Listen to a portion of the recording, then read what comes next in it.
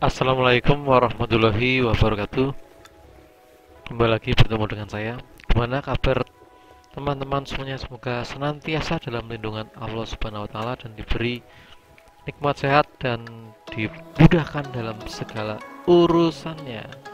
Hari ini kita berkesempatan untuk berjalan-jalan menuju suatu desa ya yang saya sangat terpukau karena memang di sini desanya itu pembangunannya infrastruktur merupakan salah satu yang terbaik jalan penghubung antara desa ini dengan jalan yang dari jalan raya terhubung jalan aspalan yang sangat mulus. Kemudian lingkungan dari perumahannya juga luar biasa perfect jadi saya menyebutnya dulu saya pernah ini kan dua kali edisi ya. Yang 41 42 ya. Ini yang ketiga kita mencoba untuk berkeliling desa ini. Baiklah Bapak desa ini kita sebut saja ya tadi udah tertera di tonggaknya itu. Itu di batas desanya itu namanya desa Waru. Saya menyebutnya BSD nya Purworejo BSD Van Purworejo karena ya memang luar biasa. Pembangunannya bagus rapi. Kemudian jalannya uh, merata di semua sudut-sudutnya. Selamat datang ya di desa Waru. Bagaimana keseruannya? Mari kita ikuti ini. Kita ikuti dari perjalanan kita. Terlihat ya ini kanan kiri dibuat ini apa namanya pembatas jalan yang dibuat putih hitam putih hitam. Ini kan nggak semua desa seperti ini jadi saya wah ini luar biasa. Kemudian kebersihannya juga luar biasa. Sebelah kiri ini terlihat rumah yang sangat mewah itu menurut saya. Wah kanan juga ini di sini rumah-rumah semua bagus-bagus semua saking bingungnya. Saya uh, susah untuk mengungkapkan. Tadi rumah dari kalau nggak salah namanya Pak Sumarjo ya. Yang punya anak namanya Mas Agung. Nah ini rumah bagus lagi. Gang-gangnya juga semua rapih semua halus. Wah ini wah ini joglo dengan etnik juga luar biasa. Maka di sini semua bagus semua sih. Jadi ini rumahnya Mbak Galih Pambajeng. Wah. Ini juga uh keren banget. Joglo juga luar biasa. Dengan taman-taman dengan rumput Jepangnya. Ini rumahnya Mas Juliasto Agung Prihatin ini masjid jamik dari Waru yang super luar biasa. Mewah. Bersih. Catnya itu juga uh cat mahal ini wong awet sekali nggak luntur-luntur ya. Ini juga taman-taman dari desa ini juga luar biasa bagus. Masuk kita lanjut. Masih kita lanjut menuju ke arah oh, ini juga. Nih salah satu rumah termewah di sini. Joglo etnik kemudian ditinggikan halamannya ada batu alam ada trotoarnya ini. Jadi luar biasa oh, sebelah ini adalah balai desanya seperti di kelurahan-kelurahan di Jakarta yang sangat mewah sekali. Lantai dua wah. Saya tidak bisa mengungkapkan dengan kata-kata saking perfectunya masih kita lanjut lagi menuju ke arah barat. Jadi nanti kalau kita menuju ke arah barat ini pertigaannya ini itu dari balai desa dari keburusan. Ya ini merupakan batas ya. Jalan ini merupakan batas antara dua desa. Sebelah kiri desa Waru sebelah kanan desa keburusan. Lanjut. Kita akan berkeliling tapi kita tidak lewat terbis karena jalannya itu kan nggak langsung itu apa nih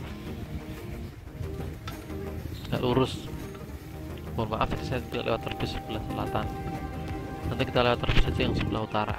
Ini suasana dari sisi dalam dari desa Waru jalannya juga sangat representatif tertata dengan rapi walaupun di dalam juga tak kalah rumah-rumah juga sangat luar biasa. Mantap jiwa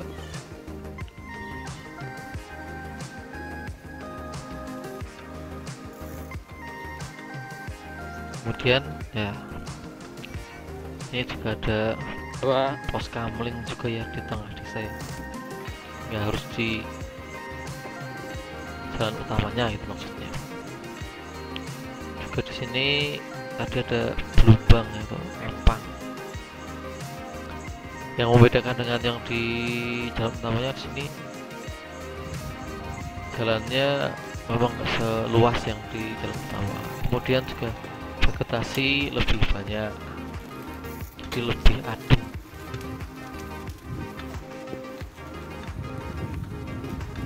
Tetapi juga rumah-rumahnya juga tidak kalah bersih lingkungannya juga tidak kalah dengan di jalan utamanya.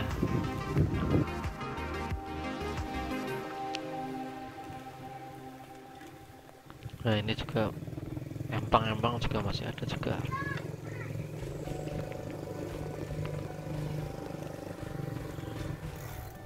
baiklah. Ini kita dari arah barat menuju ke arah timur. Begini keadaan sisi dalam dari desa Waru.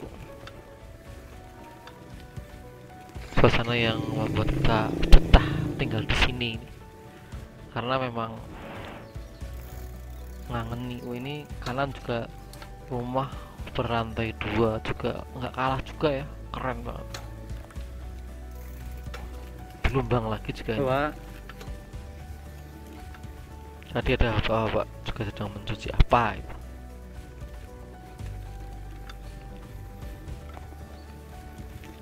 Di sini do- didominasi vegetasinya pohon kelapa kemudian juga pohon pisang.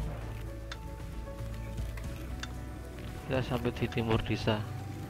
Permisi bu. Oh.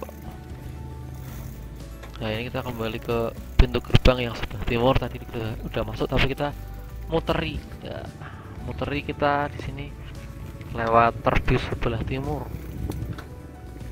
Terdapat ini parit yang penuh air ya berarti tadi malam ini. Hujan lumayan cukup deras.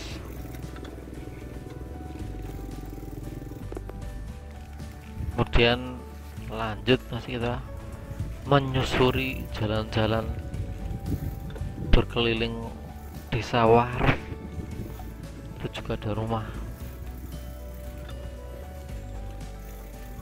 Kalau ke arah kanan nanti tembus sampai ini. Klapen sana ya Gemblek Katuk juga bisa. Nah ini juga masih terdapat ini gelombang juga di sini. kita jalan menuju ke arah barat lewat terbis yang sebelah utara. Nah ini menuju ke jalan utamanya. Jalannya itu jalan penghubungnya juga luar biasa. Wah terdapat mobil expander. Wah ini ada rumah juga keren. Gak kalah ini. Ada tempat orang bersantai-santai ini juga uh rumah yang luar biasa ini. Luas mewah tertata rapi. Eh, etnik juga itu jadi buat parkir mobil bisa luas banget. Ini bisa lewat lewat sini nanti tembus ke sana. Ke jalan utama ya. Kembali lagi ini pemandangan yang khas dari desa Waru itu banyak belumbangan. Dan juga ini cikal-cikal sedang tumbuh dengan mekarnya